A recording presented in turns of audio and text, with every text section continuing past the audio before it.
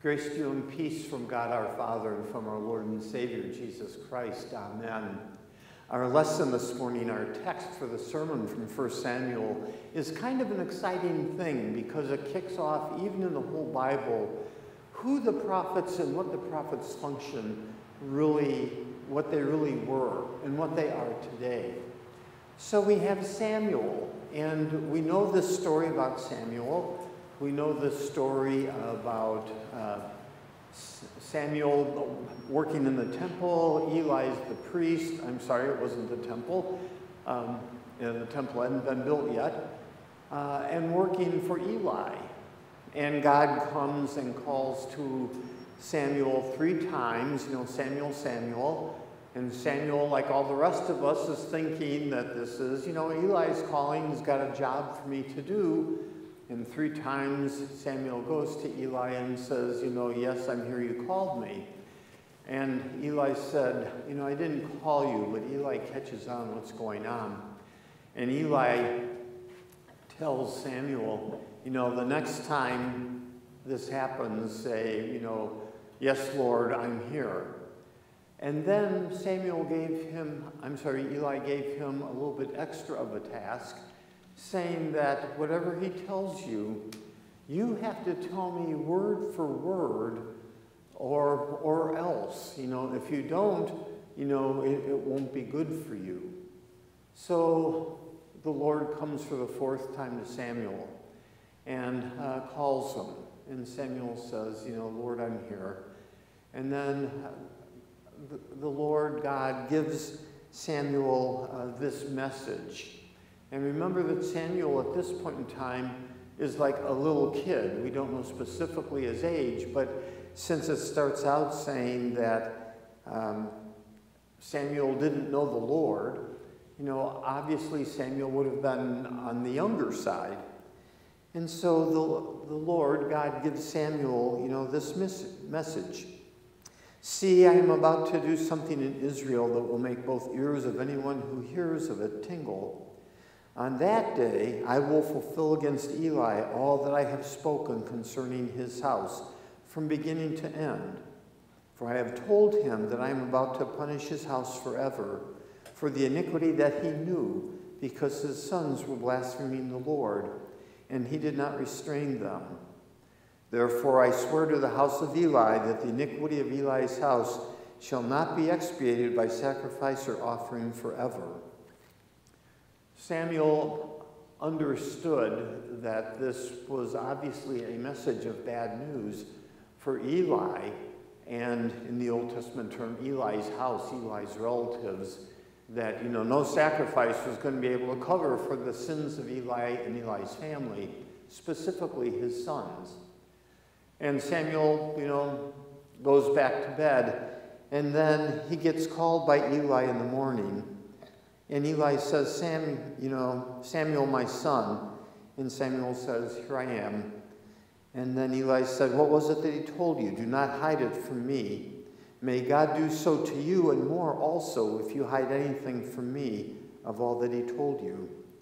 So Samuel told him everything that Eli's house, in a sense, was, was done, was being cut off, and that nothing, no sacrifices, could atone you know, for this, for this blasphemy that Eli's sons had done.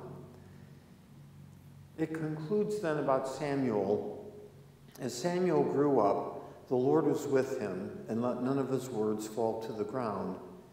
And all Israel from Dan to Beersheba, those were the traditional, Dan was the northernmost point of the kingdom of Israel. Beersheba was the southernmost point of the kingdom of Israel that everybody in Israel would know that Samuel was a trustworthy prophet of the Lord. So we have here and elsewhere in the Bible the call of a prophet. Uh, we don't necessarily think of Samuel as a prophet. You know, if we hear Isaiah, if we hear Ezekiel, if we hear Jeremiah, if we hear, you know, Micah, we, we know these prophets and we know their written word. And we understand, you know, what, what these prophets were. Um, and here we have, though, in the beginning of the book of Samuel, for Samuel, we have the call of of Samuel, and we are told that he is a prophet and that they knew that he was a trustworthy prophet. If you think about it, the people of Israel would have trouble, as we have trouble today, knowing if somebody's telling the truth or not. We listen to, you know, whether it's newscasts or politicians, and we hear a lot of words, and we aren't really in a position very often to be able to judge them and, and know this one's telling the truth, this one is not. And Samuel and the people of Israel had the same problem. There were more prophets than what we have in the Bible, but they weren't the prophets that, let's say, God had called. They weren't the prophets that were really speaking God's word, but were maybe speaking the words of somebody else, somebody who paid them, and we see this in the Old Testament, somebody who paid them, these other prophets, to say something. So we are told right off the bat that, you know, Samuel is a prophet who could be trusted. And we're reminded again about the word prophet, that, you know, it's a word that means messenger. It doesn't mean, you know, uh, the, the prophets, there might have been some uh, an intent of, I'll say, foretelling the future, but mostly, you know, the vast majority of time, that's not who the prophets were. They brought God's word to the people that they were speaking to, the people of their own time and place. You know, as God's messenger to the people to make people closer to God. So here we are in Epiphany. And again, and I'll probably say it every Sunday of Epiphany, that Epiphany means to be made known. And so we know from Samuel, if we go on, Samuel is actually one of the biggies in the Old Testament Moses would obviously be number two. In the Jewish uh, traditions, Elijah is certainly number two. Uh, but Samuel might be the third most important person in the Old Testament. When the people of Israel were sort of tired of being downtrodden and oppressed, they wanted a king. And who do they go to? They go to Samuel. Samuel, we want a king. Uh, and Samuel anoints Saul finally but Samuel's telling the people, no, you don't want a king. Kings are nothing but trouble. And the people are there, but the nations around us, they all have a king, and look how powerful and strong they are. We want a king. And Samuel says, you know, kings, what they're going to do is they're going to levy armies, they're going to raise taxes, they're going to do all these things. And the people said, we don't care. We want, we want a king. And so Samuel, again, as, as the important person in Israel, um, anoints Saul to be the first uh, king of Israel. So Samuel is quite, the, is quite the Old Testament figure. And for us, he's quite the model of what it means to be a prophet.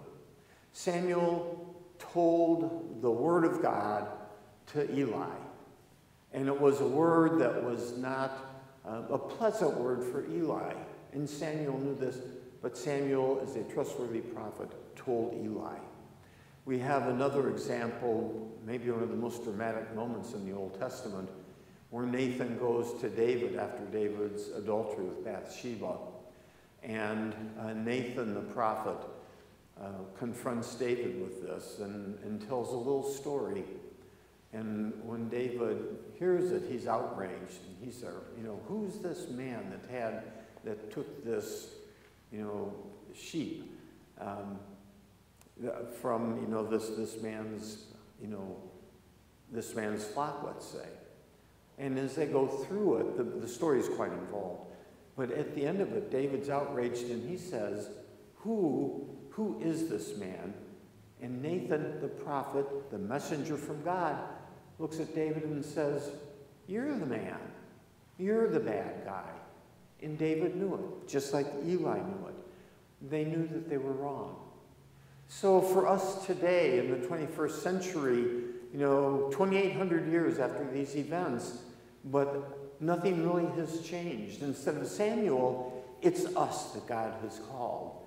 Instead of Samuel getting the word of God for, you know, Eli and later in life for others around him, it's us who have the word of God for the sake of people around us.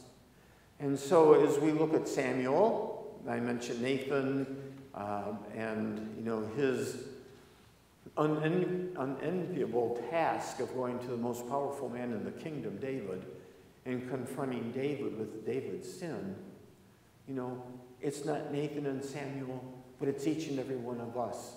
It's all the congregations, it's all the people of God throughout the world that God has called. And so, Epiphany, making God known, we understand that that's our job. We understand that God has called us to do that. And we understand that when God calls us, when God reaches into our lives, when God empowers us to be God's messenger, we see that things change. Uh, we see that our lives change. And we see what is possible for the world when all of us work together as God's people in the world. Amen. May the peace of God, which passes all understanding, keep your hearts and your minds through Christ Jesus. Amen.